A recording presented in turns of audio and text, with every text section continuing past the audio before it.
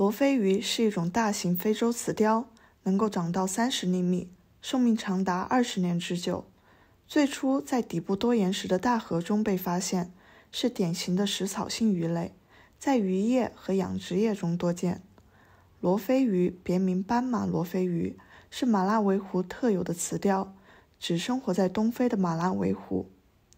马拉维湖是世界第九大面积和第三深的湖泊，拥有世界上最丰富多样的淡水生态系统。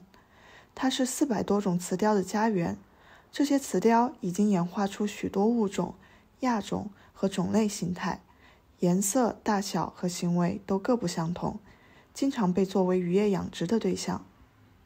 水族馆展示了九种马拉维雌鲷，它们都是小型的。长到十至十五厘米。姆布纳形态是一种领地性强且具有攻击性的沿岸物种，生活在哈姆雷氏的群体中。乌塔卡形态是一种相比较而言更加温顺的鱼群，生活在四十米深的开放水域。它们用嘴孵卵、养育幼鱼，并且通常以植物和小型无脊椎动物为食。